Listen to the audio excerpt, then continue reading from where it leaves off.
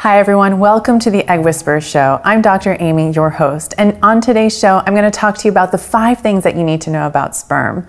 And I've come up with an easy to remember way for you guys to ask your doctor these things that you need to know, and that's Ball's method. It sounds like a joke, but it's actually quite serious. I'm very serious about this. I've come to know from my experience in helping thousands of people that men are too often left out sperm is an equally important part of a healthy pregnancy.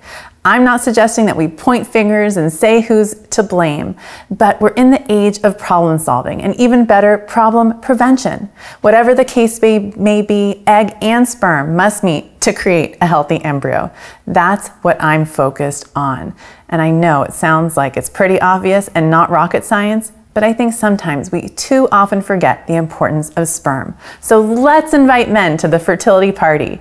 And as you may have guessed from the name, this approach has everything to do with the dude part of the baby making equation. I want to make it incredibly easy and socially acceptable to talk about sperm. So now we start with the Tushy method, because that's where it all starts. The Tushy method, that's T U S H Y, the five steps or test that you can do to understand your fertility. And this is for a woman to do to check her tubes, uterus, the S is for the balls part, hormones, and your genetics. And then if there's a sperm issue, that's where balls comes in. If after a tushy check you learn that the sperm quality is low, I don't want you to be confused. I don't want you to, to think that oh gosh, there's nothing I can do about it? Because there certainly is. And that's why I created this method to help men and their partners understand and remember these simple, simple steps to understanding their fertility and sperm health.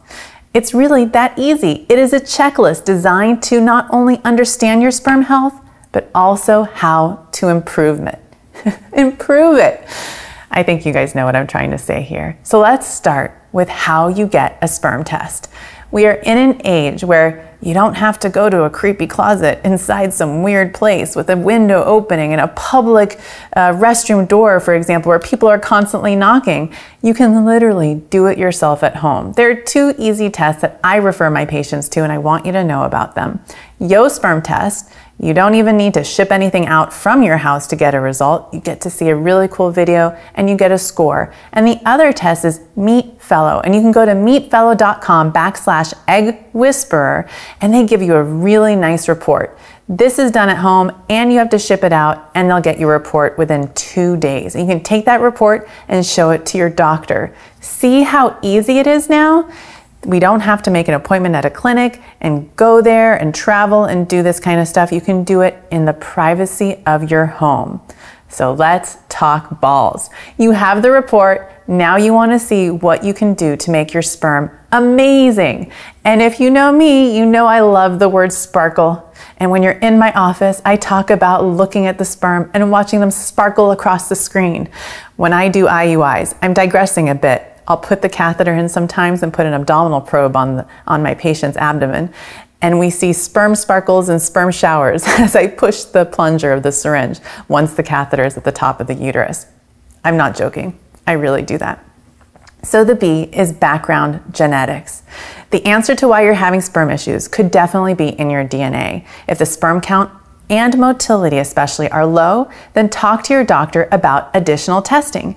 These tests include chromosome analysis, this is done by blood, Y chromosome microdeletion, also a simple blood test, a carrier screen, either blood or saliva, and a sperm DNA fragmentation test. This is studied by looking at the sperm. It sounds like it's a lot, but honestly, these tests are very easy to do and they can give you answers and guide you as far as what you should be thinking about next. The A stands for anatomy. Don't Google image this stuff. Trust me, the pictures you might see might kind of scare you away from Google forever. I'm joking, of course. But a dilated vein on the testicle, also known as a varicocele, diagnosed through a pelvic, not a pelvic, but well, kind of pelvic, a scrotal ultrasound or an exam by a male fertility specialist, also known as a urologist, is a really common finding when a guy has low sperm counts. This can also reduce testosterone levels, affect the sperm DNA fragmentation test, so you can see why it would be so important to see if someone has a varicocele or not because treatment can oftentimes, more often than not, result in healthier, better swimmers and more sparkly sperm. Now we have the L, and that's lifestyle. There's more and more mounting evidence to suggest that lifestyle affects sperm count. What do I mean by that? Well, let's take a look at all the things that go into our lifestyle. It's super important to have a normal BMI. Sounds cheesy, I know, but I want both of my patients, if it's a heterosexual couple, for example, to be the best version of themselves. I want you to be the best version of you, exercising most days of the week, eating very healthy, and the other things that I talk about is sleeping at least seven to nine hours if you can. Eight would be ideal. Decreasing stress, avoiding exposure to heat, limiting alcohol, avoiding, obviously, tobacco and marijuana and review your medication list with your doctor. Sometimes you're on a medication that you didn't even know could block sperm fertilization, like a calcium channel blocker, or you've been taking testosterone thinking that it could help sperm when the reality is that it's basically like a birth control pill for men. And lastly, look at the vitamins you're taking and see if you can add more. Some of the products that I recommend to my patients are Alpha Sperm. You can go to alphasperm.com and use the code all in caps Egg eggwhisper50 for 50% off. I have no affiliation with any of the companies that I'm talking to you guys about. If I did, maybe I would be quitting my day job, and I'm not, not forever. And then the other product is through Theralogix, and that's Conception XR, and you can use the PRC code TUSHY, all caps, T U S H Y. So I recommend prenatals for my female patients and the same for my male patients for obvious reasons because we want the best quality sperm so they can impress the egg and the egg will let them in and then we'll get even more beautiful embryos. And then almost done, we have the second L, and that L is for labs. You know, as women, we're used to getting poked and prodded and getting all these hormones checked. And for guys, there's simple tests that we can do as well. And I'll give you that list.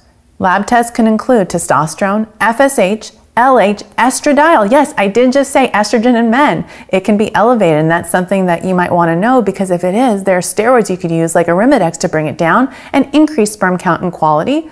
Prolactin, TSH, vitamin D, and hemoglobin A1C to rule out pre-diabetes. And the reasons for a low sperm count could be low testosterone, high prolactin, a thyroid issue, diabetes, high cholesterol, and low vitamin D. And these things can all be treated. My goal is for you guys to know what your diagnosis is, to know what's in your control to fix it, and then do treatment so that your treatment is as successful as possible. So now for the S. And I'm not going to sing on today's show. My sister, I actually promised her that I would never sing again. And I might lie and I might sing. Let's talk about sex, baby. Good thing I don't have an audience because they'd be throwing tomatoes at me right now. But it is so important to talk about sex. And the reason why is we know for a fact the amount of sexual issues that can occur when a couple is trying to conceive. We know that having sex around ovulation isn't like the way it is in the soap operas and the telenovelas, although that would be amazing and awesome if it could be like that every time. The reality is, it's work and it's annoying, and sometimes people have hurt feelings. And I get it. But I think it's super important to talk about sex with your doctor. As a fertility doctor, you can tell I have no problem talking about sex, and I actually say things like, How's your sex life? When was the last time you guys had sex? And if the couple's looking at each other and they're like, Three months ago, then obviously we know there's an issue. So be sure to bring this up. Don't be afraid. And see a sex therapist. Talk to your urologist. Not all guys are going to be comfortable talking to me, especially in front of their wives, but there are other docs out there who this is all they do is talk about sex and see how they can improve things in the bedroom. And at the end of the day, that can help with sperm.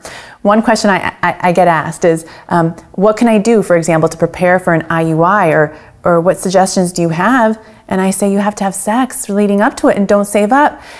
And the best position is the position that you're going to enjoy the most. And the reason why I know this, let me tell you. If a guy feels super awkward and super stressed out for a semen collection for an IUI, his sperm is going to not be as good compared with if it's a relaxed situation, So, those are the things to talk about. What can you do to be in the mood around the time of collection, around sex, around ovulation, so that your sperm will sparkle? I imagine guys looking down now saying, Is my sperm sparkling? Maybe I should come up with a t shirt that says that. I'm way funnier today than I've been yesterday. Okay, so you now understand my egg whisperer plan. You got the tushy, you got the balls, and together they make the Egg Whisperer diet. And the diet isn't a recipe that my grandmother taught me. Unfortunately, no one taught me how to cook as a child. They only taught me about fertility medicine. Being raised by a bunch of doctors, this is all we talked about. So, the Egg Whisperer diet is knowing your diagnosis before your IVF or infertility treatment, understanding the endometrium, which is the inside lining of your uterus, and then moving forward with treatment or your transfer. I hope you guys enjoyed today's show. I hope you learned all about the balls method and now you'll go to your doctor and be like, What's up with my balls? and they'll be like, Huh? Stop watching her podcast. But in the meantime, I hope you'll tune back in. I hope you'll join my next class through eggwhisperschool.com. And thank you for watching and listening. I hope your sperm sparkles.